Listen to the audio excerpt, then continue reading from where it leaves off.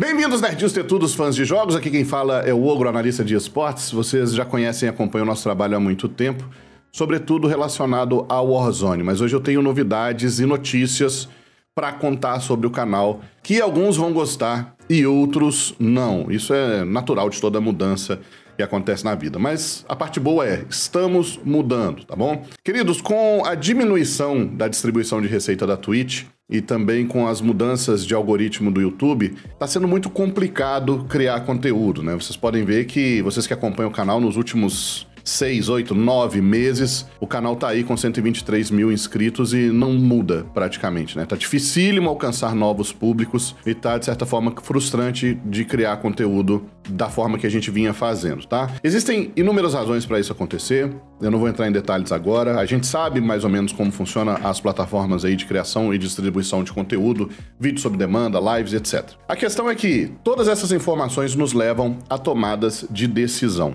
beleza?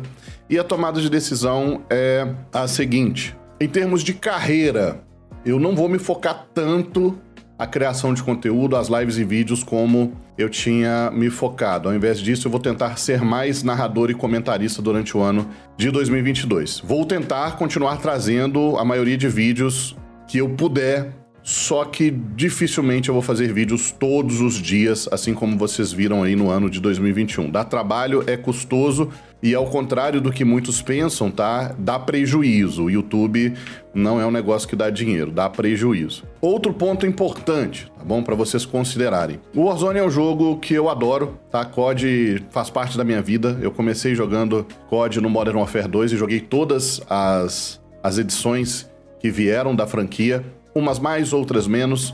Só que quando eu decidi sair do mercado formal de trabalho, eu decidi fazer algo que eu tinha vontade, algo que era apaixonante para mim, algo que eu amava fazer. E o Code Warzone para mim tá sendo um pouco desgastante. Vocês sabem que o próprio jogo cansa os jogadores e tem sido pouco interessante nas últimas atualizações. Eu apostava todas as minhas fichas de que a atualização e a integração com o Vanguard seria uma grande revitalização do jogo, e o que a gente viu foram bugs e mais bugs, crashes e mais crashes, problemas sem fim.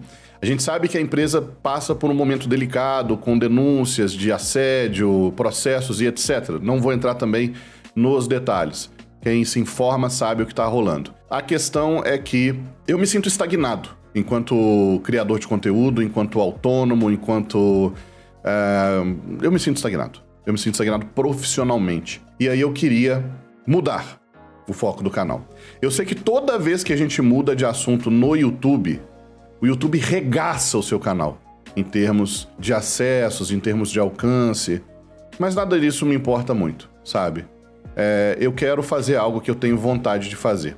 E no momento que eu tenho vontade de fazer, é mudar o meu foco de jogo de FPS para jogo de RPG e especificamente para um título que já tem dois anos que eu estou esperando vir para América, que é o Lost Ark Online. Já tinha feito na época que eu jogava no servidor russo alguns vídeos, já tinha falado com meu amigo Caricas que era uma grande promessa, porque é um jogo que tem características incríveis para nossa região. É um jogo que eu tenho certeza que a galera vai comprar a ideia e vai jogar com bastante intensidade. É um jogo que tem um endgame, que tem uma quantidade de possibilidades para você fazer todos os dias sem que você enjoe, grande. Então, uma grande possibilidade aí de, de conteúdos diferentes para você fazer todos os dias. O PVP é gostoso, não é um jogo pay to win, é um jogo gratuito, é um jogo que roda em qualquer computador. Então, estou dando esse aviso para vocês, para que vocês não estranhem como aconteceu em outras épocas, quando eu comecei a soltar vídeo de New World, vídeo do próprio Lost Ark falando um pouquinho sobre as classes, porque foi de repente, né? De repente eu não tava com vontade de fazer vídeo de Warzone, comecei a postar vídeo de outras coisas e muita gente estranhou. Então não estranhe a partir de agora. Eu espero que vocês me abracem nessa nova empreitada, espero que dê certo. Se não der certo também não tem importância, né? Porque a gente já tá estagnado mesmo, o que pode acontecer é a gente continuar patinando no mesmo lugar mas pelo menos eu vou fazer um conteúdo que eu tô ansioso para trazer para vocês, beleza? Se vocês não sabem nada do jogo, que lança agora em fevereiro, estamos ansiosos para que venha logo. Procure saber, tem vídeos meus aí no canal, é só você procurar Ouro, Lost Ark.